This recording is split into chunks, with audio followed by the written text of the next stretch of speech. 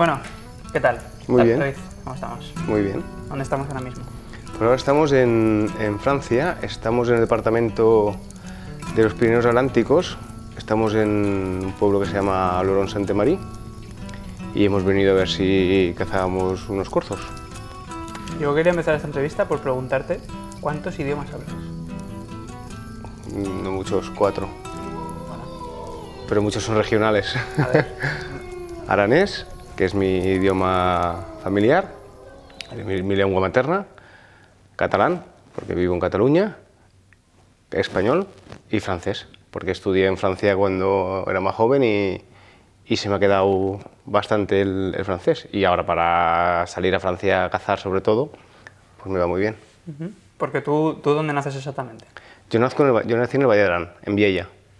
Viella es la capital del Valle de Arán, una región pequeñita, 10.000 habitantes, y ahí nací. Y ahí he pasado toda mi vida. Me fui a estudiar a Francia, luego estudié en Huesca, y ahora vivo ahí. Trabajo de bombero desde hace ya unos cuantos años, y bueno, ahí, ahí hago mi vida familiar y mi trabajo. ¿De, de dónde sacas el tiempo para cazar? Pues bueno, me organizo como puedo, ¿no? Intento organizarme en el trabajo y con la familia. Y sí que es verdad que, bueno, pues mm, disfruto mucho de, de la afición de la caza y bastantes días, todos los que puedo. ¿Cuánto hace que trabajas con los Jaguar Hunters? Pues bueno, eh, hace poco, hace un par de años que contactamos, que hemos hecho alguna, algún documental juntos y ahora ya este año ya parece que, que nos involucramos más los dos, tengo más tiempo, ellos están más disponibles y entre todos hacemos, estamos colaborando mucho más. ¿Los conocías de antes de las redes sociales? Sí, sí, sí. Los- yo había hecho algún reportaje con, con otras cámaras, otras productoras, y la verdad que me gustaba cómo trabajaban, me ofrecieron colaborar, y la verdad es que estoy encantado. La verdad es que sí, son gente seria, muy trabajadores y hacen bien las cosas. ¿Por qué decidiste grabar, empezar a grabar tus cacerías? ¿Cómo? ¿Por qué decidiste empezar a grabar tus cacerías? Bueno, pues esto empezó como, como un recuerdo. Yo voy a mucho cazar y luego al final las cuatro fotos que te haces cuando acabas para tener el recuerdo de, de lo que has cazado, de los amigos, de las comidas, pero no tenía una, un documental para el de mañana. Como yo tengo un crío, pues digo, hostia, enseñarle a mi crío pues el- el- una jornada de caza lo que es. Entonces pues, me apetecía cazar un permiso, un permiso de ISAR, que fue el primero que hice, y me apetecía pues tenerlo como recuerdo. Me gustó la experiencia, a la gente que lo vio también le gustó, bueno, pues una cosa trajo la otra y, y- y aquí estamos haciendo ya unos cuantos. ¿Qué diferencias ves en cuanto vas a, a grabar las cacerías y cuánto vas solo a, a cazar? No tiene nada que ver, no tiene que ver, no tiene nada que ver, porque cuando tú vas a cazar vas a lo tuyo, no estás pendiente de nadie. Vas a cazar, eh, si, muchas veces, mm, muchas ocasiones, el tiempo para el, el lance es muy justo. Entonces, claro, cuando yo voy, por ejemplo, a cazar sin cámaras es, es otra, no cómo decirte, vas a, vas a lo tuyo. En cambio, cuando vas con cámaras tienes que estar siempre con un ojo en, en- en la pieza y otro ojo con la cámara. A, a ver si te da ok, si lo tiene en plano, si no lo tiene, si le ha dado tiempo. Entonces, claro, sí que es ver- no muchas, pero sí que es verdad que más de una ocasión se me han escapado las, las piezas porque el cámara no las tenía enfocada. Entonces, claro, bueno, de otra manera, cazas una hora y grabas tres. Yo lo he notado que está- vamos a empezar a grabar tal y tú ya estás 30 metros por delante, mirando ya, mirando ya el campo, ahí a, a ver si, a ver si lo ves rápido. Siempre, ¿eh? 30 metros por delante. Y hay que decirte, David, tranquilo, espera, que, te- que estamos todavía empezando a grabar. Ven aquí. Y ya es, eh, se, se nota, hace mucha gracia eso. Claro, porque una cosa es ahora aquí, bueno, que ya pues, estás tranquilo, estás, te preparas, y otra cosa es cazar. Yo cuando salgo a cazar, el chip se te cambia. Entonces yo estoy cazando. Entonces intento a veces, para, que no estás solo cazando tú, que, que al final tenemos que cazar todos. Entonces, claro, eso a veces, y no tanto el rececho, pero sí, por ejemplo, con el jabalí, con los perros, ahí es mm, bastante más complicado. Porque, claro, ya no depende solo de mí. Porque a lo mejor un rececho sí que la pieza la tienes ahí parada y tienes tu tiempo, pues te puedes preparar, puedes montar las cámaras, los pero claro, cuando vas al jabalí, el perro a lo mejor te lo arranca y te da 10 segundos. Y en 10 segundos muchas veces es mucho más complicado, cada caza es, es diferente, ¿no? Pero bueno, poco a poco hay que ir adaptándose y bueno, también estáis vosotros para decirme, eh, David espera o David, bueno, poco a poco. ¿Tus inicios son con el jabalí? Sí, sí, yo, bueno, donde cazamos nosotros, en, en el Valle de Drán, tenemos opción de cazarlo todo. Entonces, eh, tienes eh, permisos para un, un isar, tienes permisos para un corzo, tienes permisos para ciervo y luego tienes las batidas de jabalí.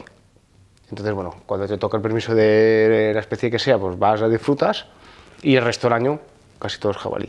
En batida o en mano o a rastro de la nieve, lo que sea. Pero sí que es verdad que me gusta toda la caza, pero quizás la que más practico es el el- la caza del jabalí con, con perro en salto.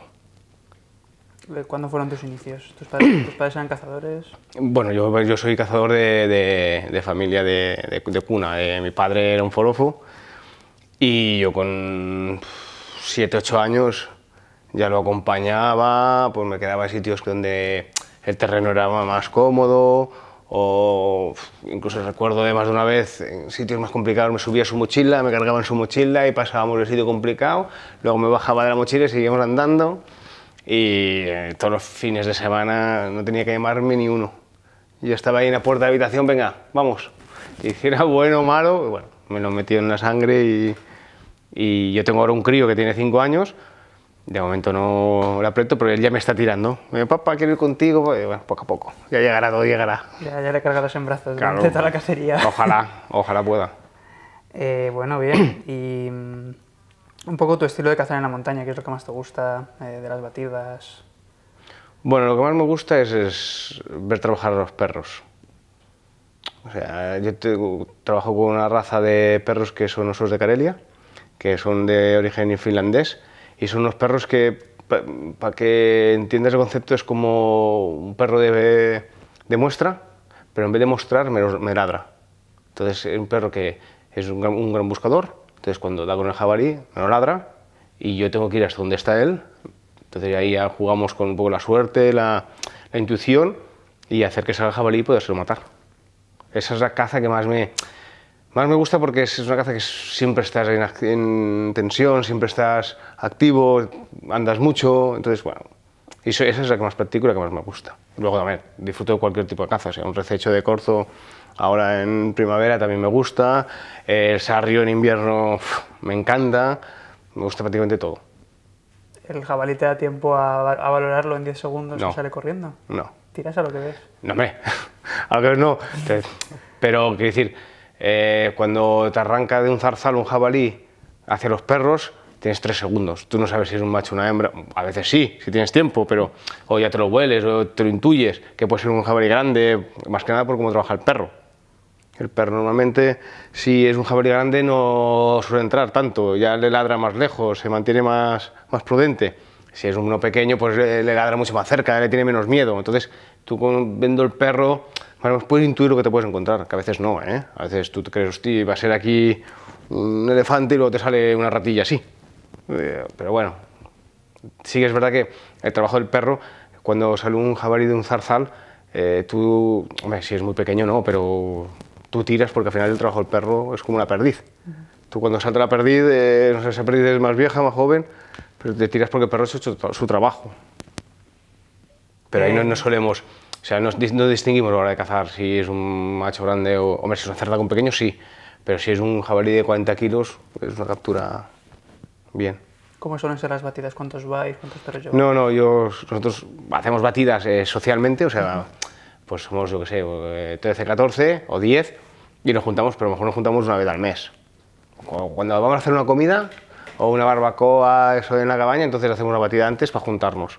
Pero si no, solemos ir dos, tres amigos con dos perros, dejamos ir los perros, los perros los encuentran, entonces ya decidimos la estrategia que vamos a utilizar, si bien nos vamos a juntar ahí más cerca viéndonos a ver si podemos hacer que salte, o si no, hacemos un nos separamos un poco más y uno entra y, y hacerlo arrancar para cualquiera de los otros que está parado. Pero no hacemos, no solemos hacer batidas como en- empezar en un sitio y acabar en otro. No, vamos a, escogemos una zona, soltamos los perros en esa zona y los perros decidirán dónde tenemos que cazar. Tú ya eres eh, famoso en tu tierra, ¿no? Ya eres el, influen- el influencer de la zona, ¿no?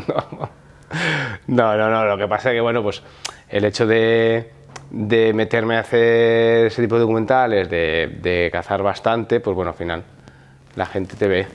Pero vamos, yo no- ni me considero famoso ni menor influencer, tampoco tengo mucho que enseñar. Yo cada día que voy a cazar por ahí con gente nueva y sitios diferentes, tengo más que aprender que enseñar. O sea, siempre que vas con alguien aprendes. Eh, Poco puedo enseñar yo. Sí, a disfrutar sí. Que te dicen, no, tengo el visor que te has comprado. ¿Cómo, cómo- Ah, eso sí. cómo eso- sabes el visor que tengo? Eso sí, eso sí, eso sí que me ha pasado alguna vez. Eso sí, ay, esas botas o eso no sé qué, ese, ese GPS, o...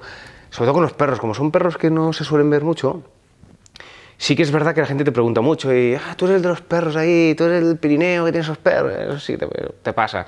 Sobre todo cuando te, pero claro, si te juntas con, con colectivos de cazadores, si te vas por ahí, nah, la gente que no caza no, sabe, no te conoce de nada.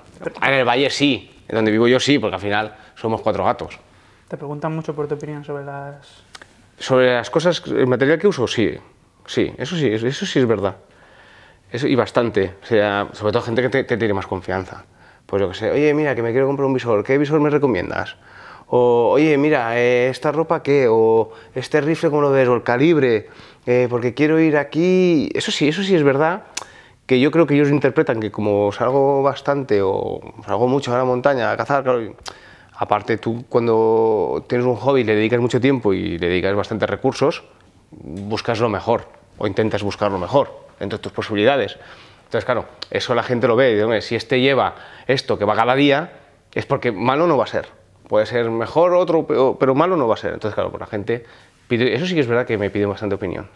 Sobre todo la gente que más confianza me tiene o gente que no me tiene confianza, pero ve que publico una foto donde sale cierto artículo, cierto material, y entonces sí que es verdad que al momento, brup, oye, ¿y eso para qué sirve? ¿Y eso que no sé qué? ¿Y qué tal? Eso sí es verdad, eso sí lo he notado. Más, de- más, de- más de eso que preguntas sobre material que uso que no el hecho de conocerme como influencer o cosas de esas. Eh, ¿Tienes alguna cacería pendiente aquí en España? Sí, ¿eh, ¿para este año? No digo eh, soñada por hacer algún, Ah. algún animal. en España no. Que me, haga, que me haga mucha ilusión, no. Como yo siempre he cazado en alta montaña, sí que me haría ilusión irme a, a una cacería de las que son de alta montaña, alta montaña. No sé, un tour o un Ibex, una cosa así, por Asia, eso sí me gustaría, eso sí. En España, bueno, poco a poco voy cumpliendo mis objetivos, que son, bueno, pues cazar por aquí. Más que lo que me encanta es cazar en sitios diferentes con gente diferente. O sea, yo con mi cuadrilla de caza estoy vamos, más feliz que... Pero conocer un sitio diferente, gente que caza diferente a ti, que te explica cosas, que no sé qué, por aquí esto lo hacemos así, y digo, "Ah, pues, hostia, pues a lo mejor esto me sirve también para donde cazo yo, ¿sabes?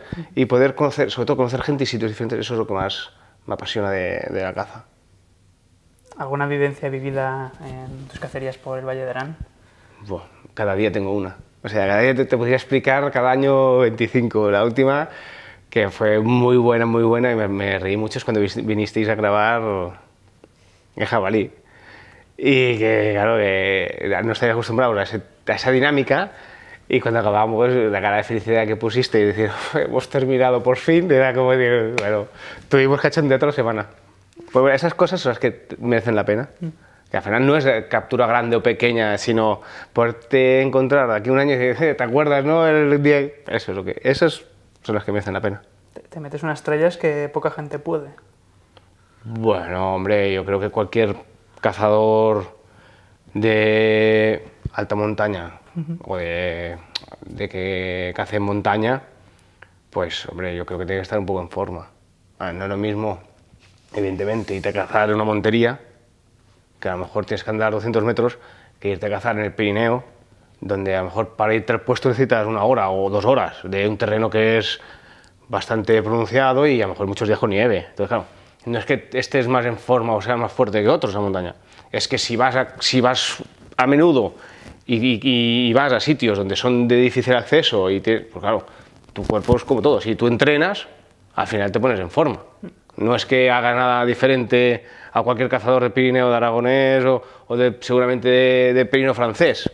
Seguramente, si vas te pones en forma. Pero vamos, no me considero que esté que esté, vamos, más en forma que... También es verdad que por mi trabajo pues estoy un poco más en forma, pero no, yo creo que cualquier cazador que cace que los fines de semana y vaya a posturas donde son, bueno, se ponen en forma. ¿Y por qué entonces ahora, el, eh, tan- con tanto que te gusta la alta montaña, por qué el corzo que se caza en sitios tan... Porque me gusta todo. O sea, si tuviera un corzo, si, yo también cazo corzos en, en montaña y me encantan, y me encantan. Pero me gusta cambiar. Es decir, eh, es lo que te decía, yo en el Vallarán, yo creo que no hay ningún sitio, por lo menos yo lo he visto en España, tampoco he ido a muchos sitios, ¿eh? pero no hay ningún sitio que tenga la caza y el sitio como el valle, donde cazo yo. O sea, a nivel de animales, a nivel de, de disfrutar, a nivel de paisaje, a nivel de mil cosas, seguramente será, si no te digo el mejor, de los mejores. Pero, claro, pero a mí me gusta, te gusta cambiar, ver sitios nuevos, experiencias nuevas, tipos de caza diferentes, territorios diferentes, pues todo eso se disfruta y eso te enriquece. Y por eso me gusta venir aquí, o me gusta ir, por ejemplo, a, a Aragón, al Pirineo, a, a Broto a cazar alguna vez, y me encanta. Ahora, por ejemplo, cerca de, de Isabena también he ido y me encanta. O sea, me encanta, disfruto de todo. ¿Cómo es el terreno este en el que estamos cazando estos días? Bueno, esto es un terreno que- no es llano, pero tampoco es montaña. O sea, hay, hay como pequeños valles, aquí creo que dicen es un terreno baloné, que es como, como, si, hubiera- como si fueran medios balones, ¿sabes? Porque siempre es montañas así como redonditas, no muy altas, mucho prado. Sí que es verdad que es un sitio para mí muy difícil de cazar. O sea, eh, si vives aquí y puedes perder el tiempo y decir, bueno, pues voy aquí, veo este, eh, este, fanco, este prado, yo sé alguno, mañana... Pero si vienes de fuera a cazar es un sitio muy difícil porque está lleno de, de casas por todas partes. Entonces, claro, eh, no tienes como eh, coger los prismáticos y dices, Buah, me voy ahí, me miro y... dif-". No, es eh, cojo, me voy a esa finca, miro a ver, ese prado, esa zona, nada. Tienes que coger el coche, te vas a, a lo mejor un kilómetro para ahí, en ese, vas andando, te vas al prado, nada. A estar un rato, nada, venga, te vuelves para atrás, vuelves a coger el coche, te es una, una caza, es diferente, es diferente. Es diferente. No es eso de que bajas del coche, coges los prismáticos, coges la mochila, te vas y a las 5 o 6 horas volverás. No. Aquí es diferente. Pero bueno, lo probamos. Está bien. También hay zonas un poquito más pobladas, zonas menos pobladas. Aquí están bastante acostumbrados al cazador. Hemos estado cazando y enseguida te preguntan, "Eh, ¿cazando del corzo? Ah, muy bien, muy bien, muy bien. Hay gente que también que le, gusta menos, pero bueno, al final cada uno es libre de pensar lo que quiera. Que saben que estamos cazando corzos, pero aquí no cazan corzos como tal. No, No, no, aquí no yo creo que no tienen la cultura del corzo, no tiene la cultura trofeísta, que a lo mejor tenemos en España. Yo creo que aquí el corzo lo valora más por la carne que por el trofeo. O sea, eh, los cazadores caz- cazan casi todos el jabalí, los que cazan. Siempre puede haber algún forofo de alguna especie, pero lo normal es que cazan el jabalí. Es más, eh, casi todos los perros que tienen son exclusivamente para el jabalí. ¿Qué nos, qué nos pasó? ¿Cómo? ¿Qué nos pasó con los perros de jabalí? Que, no, que, que- Ah. que tenían perros de jabalí, pero... Que nos pasó que, que dejamos un corzo herido, Antonio dejó un corzo herido, lo quisimos rastrear porque justo había eh, dos o tres chavales que estaban entrenando sus perros en los parques que tienen aquí en Francia, que eso es muy típico. Casi todas las comarcas tienen un parque vallado, donde tienen unos jabalíes dentro y entrenan sus perros. Entonces ellos meten a sus perros ahí y los entrenan. ¿Qué pasa? Que justo coincidimos, les preguntamos si les importaba echarnos una mano con los perros para encontrar el corzo. "Ah, no, yo tampoco lo haría, ¿eh? Es decir, eh, si tienes perros para todo, sí, pero si tienes perros para jabalí, no les metas así un corzo. Entonces, claro, nos preguntamos para qué eran sus perros, dijeron que eran jabalí, entonces ya, normal, dijeron que no y, y tuvimos que llamar a, a la asociación aquí de, de perros de sangre, que la verdad que fue espectacular, tanto el trato como la atención, me quedé sorprendido. No sé en otros países cómo funcionará, en España sí que funciona bien, pero aquí me quedé, vamos, eh, nos pasó a las 8, lo intentamos encontrar hasta las 10, no hubo manera, llamamos y a la 1 estaban aquí. A la 1 vinieron con el perro, lo que pasa es que al final- al final nos dimos cuenta que era un tiro de pata, que bueno, pues, y no, no- no conseguimos eh, cobrarlo, pero, pero el trato fue, vamos, sublime. Si tenemos algún percance, volveremos a llamar sin duda. ¿Cuándo vas a ir a por un perro de sangre tú? Me estoy calentando, ¿eh? Me estoy calentando con el tema. El problema es que, claro, eh, Yo un perro tengo que asegurar que lo voy a sacar por lo menos 20 días al año. 20, 30 días al año. Tener un perro en casa para sacarlo, pf, yo qué sé, 5 días de cecho al año, no. No, no porque no... Porque vale, tampoco tengo una, una casa con jardín donde tenerlo. Entonces, para tenerlo en la perrera con otros perros, que la verdad es que tengo una perrera que están de maravilla, están súper bien, pero para sacarlo 5 de año no, no. No, Yo no tengo perros de, de ciervos, porque a lo mejor hacemos 3 o 4 batidas de ciervo. Podría tener uno. Y es la discusión que tenemos siempre. Hostia, si tuviéramos un perro para ciervos... No. Un perro tiene que salir mínimo 40-50 días al año. Es mi opinión, ¿eh? Otra cosa es que yo tengo un, perro para tenerlo en casa y me haga compañía y yo lo aproveche para llevármelo a, un rececho. Eso es diferente. Pero tener un perro perrera para que salga 5 días al año no. Si voy haciendo más y el día de mañana puedo tener un jardín, entonces sí lo tendré. Sí, porque, me, porque el otro día te calientas y o sea, un perrito que me iría de maravilla. Más, yo soy muy fan de los perros de caza, de todos los perros de caza. Para terminar, eh, tres imprescindibles que te, que te llevarías a la montaña un día para sobrevivir. ¿Tres qué? Imprescindibles, objetos imprescindibles. Que llevas siempre contigo. Un mechero, una navaja y una prenda de abrigo. Porque teléfono, no sé, si- te, te diría el teléfono, porque se vuelve, se, se vuelve en algo imprescindible.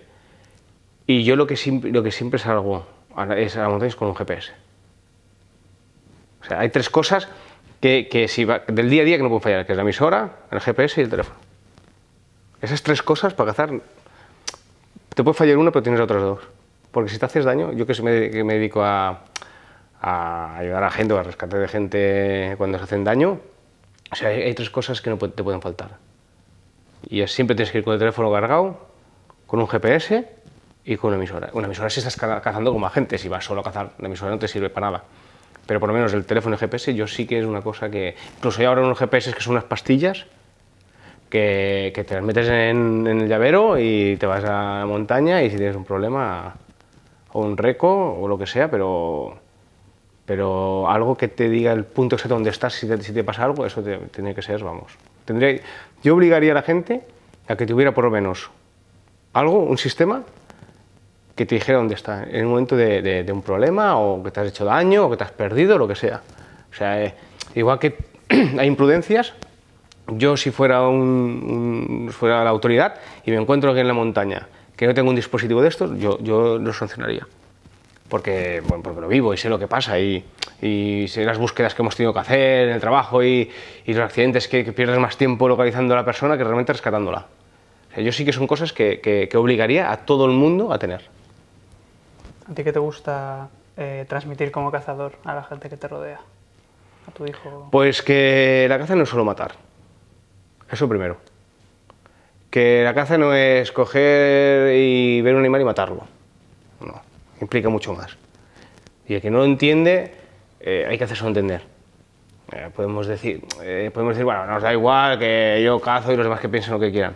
Yo creo que eso es un error. Es un error porque al final la sociedad te lleva a un sitio y si tú no, te no acompañas tus ideas a, a ese sitio o a esas, estás perdido. Porque, a ver, los cazadores tampoco somos la mayoría de la población. Nos tenemos que hacer valer, evidentemente, eso por supuesto. Pero también tenemos que, que buscar un poco el enfoque o cómo enfocar el- la caza en la actualidad. No es lo mismo cazar ahora que en los años 90. En, en los años 90, en los años 50, no tienen que ver. Primero porque antes se, se cazaba por necesidad y ahora se caza por hobby. ¿Vale? Entonces, dentro de tu hobby, lo que tienes que hacer es eh, demostrarle a la gente que lo, lo que no haces es coger un, un corzo, un jabalí, un ciervo, va a ir al prado al lado de tu casa y pegarle un tiro. No, eso no. Tú haces una actividad que es más o menos física, la compartes con unos compañeros que pueden ser más o menos y, la compartes y la disfrutas, tú haces una captura, que evidentemente que al final el, sentido es el, tiro que pegas, ir matar al animal, pero a ese animal luego lo coges, te lo llevas para casa, lo limpias, lo, le sacas la carne, te la comes en cuadrilla, eso es cazar, eso es cazar. ¿Que hay otros tipos de caza o que la gente interpreta otros tipos de caza? Evidentemente. Pero eso es lo que yo, mi hijo, el día de mañana, o ya le empiezo a hacer entender. Es decir, papá no mata animales, papá caza animales. esos animales nos comemos. O si no te apetece comértelo, se lo regalas a- al abuelo, o se lo regalas a la tía, se lo regalas al amigo. O sea, papá no mata animales. O sea, yo no voy a matar, yo voy a cazar.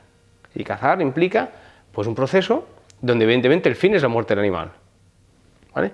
A mí me hace gracia porque alguno, muchas veces cuando mato a algún bicho, pero no te guardas los colmillos, no te guardas eh, los... No. Yo me guardo el momento. Ah, sí que es verdad que si es un bicho bonito, pues entonces sí quiero, un- a lo mejor hago el cráneo o lo que sea, pues "Mira, ese me acuerdo que... Incluso tengo- he guardado un cráneo de algún bicho o algún colmillo que es más pequeño, pero ese día me ha he tenido que currarlo tanto que tú, a ti te voy a recordar. ¿Sabes qué te quiero decir? No soy muy trofeísta, ¿eh? No soy demasiado trofeísta. Ejemplo, aquí en, en Francia hemos venido a hacer selectivos. Porque no hay... Primero que, que la cultura del corzo aquí, eh, si les dan 20 precintos para todo el año, solo pueden matar 5 en verano, en rececho, los demás en batida. Entonces, claro, eh, la gestión aquí no, mm, es inviable hacer una gestión para tener trofeos. Y además ya hemos visto los trofeos que hay, que son muy poquita cosa, muy, que son en estos países todos selectivos. Entonces, bueno, ya, tú ya vienes con la idea de hacer selectivos, matas los selectivos que te correspondan y sacarle, pues bueno, ya hemos matado alguno, ya tenemos las bolsitas preparadas en la nevera para llevarnos para casa y hacerla con los amigos o con la familia o lo que sea. Eso es la caza. Para mí es eso. El que tenga otra interpretación, pues bueno, hay que respetarla. Lo que pasa que si más gente hiciéramos ver a la sociedad cómo la practicamos, ¿vale? a lo mejor no habría tanta gente en contra de, de- de- de la caza. Porque yo hablo con mucha gente y sí, te- siempre te encuentras algún radical. Pero yo le explico a la gente, mis compañeros de trabajo o compañeros, cómo cazo yo. Ah, ah, ah. Pero no todos, no todos hacen igual. Digo, bueno, yo te digo lo que yo hago. Y yo te digo que la mayoría de gente hace lo que yo hago. Otra cosa es cómo, cómo tú lo interpretes o cómo ellos lo explican. Pero la caza, todo el mundo caza igual. O sea, hay muy poca gente que se dedique solo a pegar tiros, porque para eso vas a un tiro y te pega una diana y le pegas tiros a la diana. Pero yo, yo a mi hijo, la, la- la visión que tengo para transmitirle es que yo no voy a matar, yo voy a cazar. Eh, hasta con el jabalí cuando vais a cazarlo, os tomáis el, el rato de sacarle lo, de la, lo de la carne para que no esté mala y Sí, sí, nosotros... con todos los jabalíes. eh, si- siempre te puede pasar algún caso de que se te caiga un jabalí en un barranco y no te vas a jugar la vida tampoco por... Pero eh, siempre, siempre, siempre, o 99,9% se baja, se limpia y se regala. Nosotros lo solemos regalar. Hay veces que, se, que, que hombre, si matas 10 jabalíes, no, es difícil, hoy en día nadie quiere carne jabalí. Entonces, bueno, a lo mejor pues, ahí la sociedad tiene un centro de, de recogida donde tú lo llevas y luego se vende o lo que sea, la sociedad se ocupa y, y perfecto. O sea, normalmente se baja todo, ¿Por, qué, crees que no se consume carne de caza? porque no hay cultura de carne de caza y porque no hay sitios donde sepan cocinarla, básicamente. Porque yo he ido a sitios a comer carne de caza y sitios de restaurantes de cierta categoría y bueno, y yo dudo mucho que, que, que a cualquier persona le guste comerse eso. Pasa que no estamos acostumbrados. Porque, ¿Por qué? Pues porque ahora tú quieres algo y vas al supermercado y lo compras. Antes, pues la madrina o la abuela o la madre te lo preparaba ahí y digo, "Oh, es que era un manjar.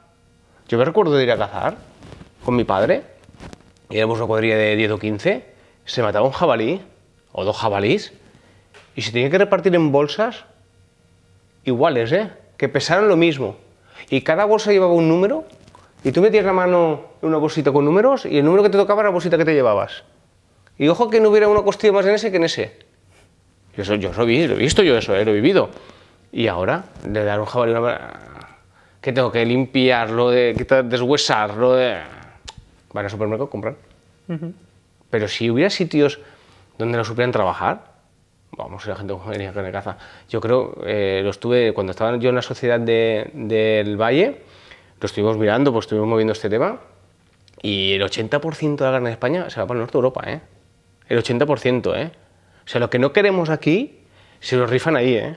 Y pagan burradas, ¿eh? Porque, yo creo que ya dudar de que la carne de caza es la más sana que hay, ya sí, ese debate lo tenemos que hacer, vamos, es una pérdida de tiempo, es, evidente, porque no tiene ningún complemento ni, ni sustancia, no, le meten nada. Pero Yo creo que eso es tema de la administración. La administración tendría que hacer mucho más. Además es, eh, es que no cuesta, no cuesta dinero producir esa, esa, esa carne. O sea, no tienes que gastar en vacunas, en piensos, en... Es, es- es naturaleza. O sea, tienes que ir ahí, cogerla y consumirla. Y aún así, no somos capaces de hacerlo. O sea, hay un problema. Hay un problema entre, primero, la comunicación, de cómo es la caza, que ya parece que eh, es- está mal visto, bueno, tiene sus detractores, pero si fuéramos una sociedad un poco más avanzada, entenderíamos que es un recurso natural que tenemos que explotar. Vamos, es que... Pero bueno, eso ya... Yo creo que es más también el, el de dónde viene, cómo, cómo, cómo- eh, cómo ha vivido ese animal. Los procesos que piden para eh, dar carne de caza a un restaurante son bastante eh, rígidos. Eh, yo me acuerdo que mat- matar a un bicho no puedes llevar a un restaurante. Porque tiene que venir con el sello veterinario, porque no sé qué. Pero yo me acuerdo incluso, te diré más.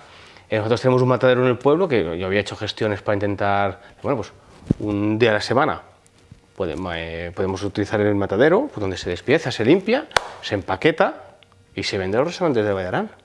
Pues no podías porque como había carne doméstica, no podías meter carne salvaje, silvestre. Bueno, bueno, bueno. O sea, es complicar las cosas, complicar. Aquí en Francia no pasa esto, ¿eh? Aquí en Francia tienen muchas más facilidades para todo. Para todo. Aquí, aquí lo aprovechan todo, de cualquier cosa te hacen patés, longanizas, hamburguesas, lo que sea. En España es un algo que igual deberíamos aprender. ¿Aquí has visto carne de caza en un, supermercado, por ejemplo? En los supermercados sí que he visto, no recuerdo dónde lo vi, pero sí que lo vi. No sé si era en, en las landas o, o- o- No me acuerdo dónde lo vi, pero sí que vi. Bueno, luego patés de jabalí, patés de ciervo, eso en todo. Mire, para cualquier supermercado que vayas lo encuentras. Es como el queso. Tú en Francia, te vas a cualquier sitio y te venden queso. Cualquier pequeña granja que tenga. Bueno, aquí hemos pasado por. que luego iremos. Hemos pasado por una que, te- que tiene cuatro cabras, pues ya te vende sus quesos de cabra. Y seguramente tendrá sus yogures de, ca- de leche o lo que sea. Si tiene ovejas o si tiene vacas, lo que sea. Y eso en España es un poquito más complicado. Yo estuve en Groenlandia y ibas por el, por el medio de la nada, por ahí cazando, haciendo tus recechos, y de repente veías un trofeazo de caribú, el cráneo en el- eh, ahí, el esqueleto en el suelo, y te decía ah, no, eso es un cazador de aquí, o los daneses, que van ahí a cazar mucho, solo quieren la carne. Sí, sí. sí. Trofeazos, ¿eh? Unos, unos cráneos Sí, que sí. decías espectaculares, pero dejaban todo ahí, iban solo a por carne y se volvían al- a casa con toda esa carne. Aquí pasa, aquí pasa lo mismo. Yo creo que es el trofeo es mucho, mucho en España. Eh, tampoco soy un experto, ¿eh? Pero yo creo que es mucho más en España que fuera. Bueno, habrá gente que se dedique solo a los trofeos, pero eh, aquí, yo te digo, aquí un corzo, yo muchas veces que, que voy a cazar fuera o aquí en Francia y mato un corzo y les llevo la carne, digo, vamos, como si les hubiera regalado la cabeza para que la quieren ellos. Ya. O sea, lo que quieren es la, aquí, aquí aprovechan mucho la carne y la disfrutan y yo no sé si era, porque no he- yo me comí un jabalí en las landas que además no soy muy fanático de la carne de jabalí pero bueno me la como y fui a cazar con un, un chico que era presidente de una sociedad ahí eh, al lado del mar ¿eh? en las landas y vamos a su casa ¿eh? nos invita ahí y nos pone una perola y veo un guiso digo, "Oh", digo, que no sea jabalí que no sea jabalí y digo ah qué dice jabalí digo. Digo, ah, me pone ahí, pim, nos pone un poco de picana, como, me comí tres platos. Digo, esto no es jabalí. Digo, sí. Digo, pues chico, yo he comido jabalí y como este jabalí no lo he comido nunca. Fino, bueno, pues te, te explicaba porque un jabalí que había matado por la noche, en una espera, había pegado el tiro en la cabeza, enseguida había limpiado, lo había puesto al frío, no sé. Espectacular. Dije, si tú me dices a mí que yo he comido, ¿eh? que esto es jabalí, te digo que no. ¿Tú dónde has aprendido a cocinar? No, yo no, no sé cocinar. Algo te he visto ya hacer. Bueno, me Con hacer, pero al final si, cuando tienes hambre empiezas a probar cosas. Pero bueno, de mirar recetas por ahí, eh, depende de la especie. Bueno, el corzo me gusta mucho seguir a, mm, a ¿cómo se llama? Pablo Ortega. A Pablo Ortega. Y luego miras otras cosas, bueno, por internet sueles mirar cosas, al final, cuando quieres saber vas. Luego la pareja de mi madre cocina muy bien la carne de caza, muy bien, hace unos guisos espectaculares de isar, de ciervo, de gamo, hace cocina que es una delicia. Pero bueno, a mí, a mí me gusta la carne de caza, ¿eh? O sea, si hay carne de caza, la suelo comer. Carpacho de ciervo me vuelve loco. El tartar. Nosotros hicimos el primer año de, primer año de nuestra sociedad, de nuestra junta, cuando estuvimos en la sociedad, hicimos un- una, como unas jornadas de carne de caza en un albergue y vinieron los mejores cocineros del valle con gente de fuera. Y a lo mejor bueno, había 50 personas y hicieron como una demostración de carne de caza. Hicieron como 15 platos, hicieron. Una, una barbaridad. Y tenías que. Era una, una degustación. Bueno, yo no conocí. A lo mejor los 15 no te gustaban, pero 10 o 13 te gustaban. Y decías, o sea, yo no entiendo cómo esto aquí, en un sitio como el Valle de Arán, que tiene prácticamente todas las especies, tiene isar, tiene jabalí, tiene corzo, tiene ciervo, tiene gamo, que, que- que- no se explote esto, eh, nos volvimos locos. Estuvimos un tiempo buscando recursos, eh, al final, Cuando vas con la cuadrilla después de cazar, ¿qué, qué recetas, qué soléis eh, preparar? Guis, nos preparan guisos normalmente. Porque claro, cuando vamos, vas a cazar jabalí suele ser eh, enero febrero. Entonces hace frío, te apetece algo calentito. Entonces, pues, Antonio, que es la pareja de mi madre, nos hace unos guisos. Buah. Entonces coges cuatro pates de ciervo, de jabalí, un poquito de longaniza y te haces un plato de guiso de esos que, bueno, tienes fuerza para... Si hacemos el sarrio este año, lo grabamos, ya verás. Sí está bueno. ¿Crees que en España lo que falta es un poco un conocimiento de cómo tratar la carne, cómo cocinarla, eh, para que... Yo creo que en España hay- son tres o cuatro cosas. O sea, la primera, que culturalmente en la sociedad no está acostumbrada a comer carne de caza. No sé si por el estigma de la caza, por qué.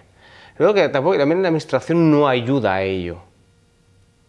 Sea, ya independientemente de quién gobierne, evidentemente si gobiernan otros cambia, pero eh, la administración no ayuda a que eso se, se dinamice. Dice, venga, va, eh, que se eh, publicite, que se anime, que en las escuelas se, se entienda de que la carne caza es la mejor que hay. O sea, como saludable no hay otra. Y luego también que, que, claro, al no tener esa cultura, eh, no hay muchos sitios donde te cocinen carne de caza. A lo mejor sí que hay sitios más en el interior de España donde hay restaurantes, en, en Castilla, Extremadura y por ahí, pero el resto no sueles encontrar muchas cosas, eh, o muchos sitios donde te cocinen carne de caza. Y, la gente que lo prueba a los restaurantes que va le gusta. O sea, y también yo creo que la, la última fase es que los restaurantes les es complicado adquirir más carne de caza porque tiene que pasar unos controles que al final, si va el cazador, te trae la, la carne, te va a costar a lo mejor una tercera parte de lo que te va costando si lo compras en una distribuidora, entiendo yo, ¿eh? Sí. Entonces, claro, yo creo que son varios factores los que habría que trabajar. Yo fui a un restaurante una vez con mi novia llevándola a un sitio así bonito, caro, en, en Serrano, en Madrid Centro, una calle eh, muy pija de Madrid.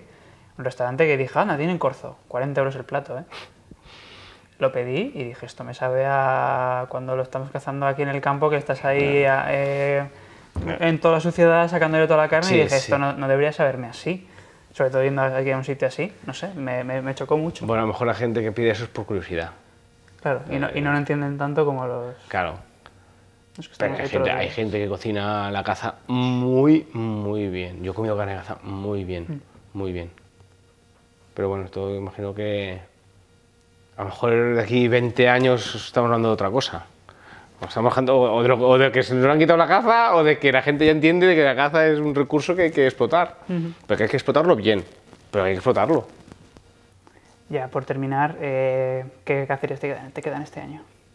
Este año, uf, este año tengo, aparte de toda la temporada de jabalí, tengo que hacer dos corzos en, en Otegarone, tengo que hacer otros corzos en Aro de Toulouse, tengo que hacer unos corzos en Isávena, tengo dos arrios, en, uno en el Pirineo Oriental y otro en el Pirineo Antique. Si me toca permiso este año, otro en el Vallarán. Luego tengo que hacer un ciervo en el Vallarán, un ciervo en, en Otegarone y, y que tenga salud para hacerlo. ¿Todo esto cazando tú o...? Yo. Pues ahora, te, ahora te veo modo, modo orgánico, No, no, no, no. no. a veces. No, a ver, cachondeo que hemos tenido estos días que yo no pago paso. O sea, yo para irme como un amigo y decir, amigo, venga, vamos aquí, yo creo que están ahí, eso sí. Pero me gusta tan, demasiado la caza como para dedicarme a... Quiero disfrutar. Eso me pasó lo mismo con el esquí. O sea, aburrir, el esquí porque me obligaba a ir a esquiar. Entonces, no. O sea, yo no. Yo no valgo para eso. Hay gente que sí que vale. Yo no. Yo voy a cazar para disfrutar. Y disfrutar no quiere decir que mate yo siempre. Pero, no sé, no tengo paciencia, no, no sé. No, no creo que, val- que valga para eso. Hay gente que sí que vale, pero yo no. No, porque además me lo tomo como, como si se mata bien y si no también. Y si traes gente de fuera para cazar donde sea, te creas una obligación. Entonces ese estrés de, de- bueno, lo hemos, sufrido estos días, ese estrés de, hostia, es que hay que encontrar algo porque no hay nada, luego cómo, cómo le explicas tú a la gente que ha pagado que no, o es un sitio que tienes muy controlado, o que conoces muy muy bien, pues si no, no me, no me arriesgaría a quedar mal. Por. Gracias a Dios yo tengo mi trabajo, que es el que me da mis recursos y esto es un hobby. Hobby, ahora con los amigos, eso me falta. Muchas gracias todo, David. A vosotros. Ha sido un buen rato y nos vemos en el siguiente episodio. Venga, hasta la próxima.